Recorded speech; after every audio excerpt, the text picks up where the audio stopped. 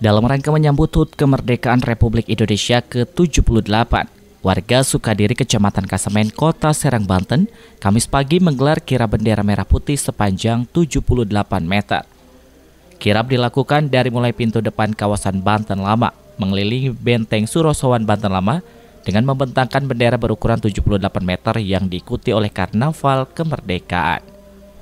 Di mana para anak-anak muda hingga ibu bapak menggunakan pakaian berbentuk Garuda, petani, pahlawan hingga mobil tank sebagai bentuk penghormatan kepada para pahlawan. Kira bendera ini merupakan bentuk kecintaan warga kepada negara, juga guna menanamkan semangat perjuangan kepada generasi muda. Dan ini merupakan rasa syukur kita sebagai bangsa Indonesia dalam menyambut hari kemerdekaan. Sepanjang 78 itu e, memperingati Hari HUT RI Republik Indonesia yang ke-78. E, dari kita mengelilingi Surosoan melaju ke Jalan Baru. Dharma Wijaya, jurnalis Banten TV dari Serang memberitakan.